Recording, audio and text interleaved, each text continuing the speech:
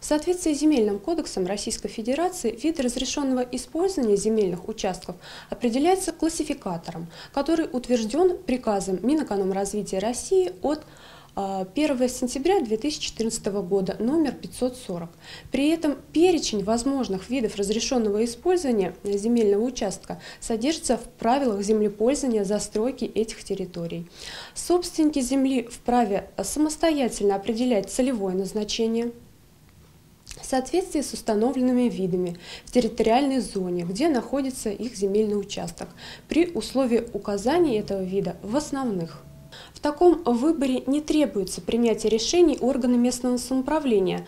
Достаточно лишь подать заявление об учете изменений в МФЦ, указать э, выбираемый вид и его код. При этом не требуется даже написание декларации. Однако необходимо помнить о главном принципе земельного законодательства – единстве судьбы земельного участка и расположенных на нем объектов, где первичен сам объект и вторичен участок.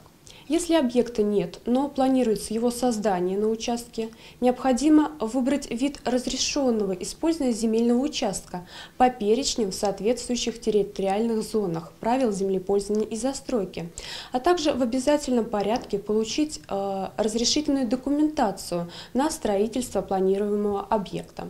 Также нужно учесть, э, что если на участке уже возведен жилой дом и планируется изменить его назначение, например, на магазин, магазин, то необходимо получить э, разрешение на перевод жилого помещения в нежилое и скорректировать вид разрешенного использования земельного участка с учетом планируемого использования созданного на нем объекта. И последнее. Если в основных видах разрешенного использования не предусмотрено размещение магазинов, но есть указание этих объектов в разделе «Вид разрешенного использования, требующий согласования», то есть условный вид разрешенного использования, то потребуется пройти обязательную процедуру публичных слушаний и принятия решения органа местного самоуправления.